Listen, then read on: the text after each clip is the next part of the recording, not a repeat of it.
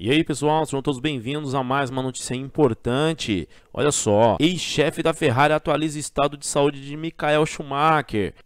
Ex-piloto que agora vive seus momentos mais difíceis de sua vida. Olha só pessoal, a notícia é de hoje, a notícia é de agora. Se inscreva agora mesmo e não perca mais nenhuma atualização da internet. Olha só, Jean Todt, que comandou a Ferrari em 1993 a 2007 e também foi presidente da Federação Internacional do automobilismo, a FIA, deu declarações sobre o estado de saúde de Michael Schumacher, que sofreu um grave acidente esquiando em 2013 e tem a recuperação preservada pela família desde então. Amigo íntimo do piloto alemão Todd diz que faz visitas frequentes ao heptacampeão da Fórmula 1 e diz: Estou feliz que os fãs, e não é apenas na Alemanha, pensem tanto nele. As pessoas perguntam muito sobre Michael, disse o ex-chefe da Ferrari, Blind, para o jornal da Alemanha. Os fãs devem saber que ele está nas melhores mãos, cercado por pessoas que o amam, acrescentou ele.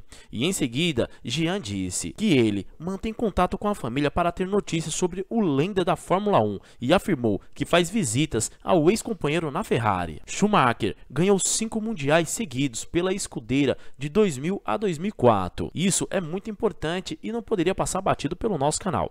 Então ele diz assim: Enquanto ele estiver nesse mundo, eu sempre vou visitá-lo. Às vezes nos vemos três vezes por semana, às vezes fico sem vê-lo por um mês inteiro. Eles são meus amigos e estamos em contato constante. Qualquer coisa que eu possa fazer pela família de Schumacher, eu faço, afirmou Jean.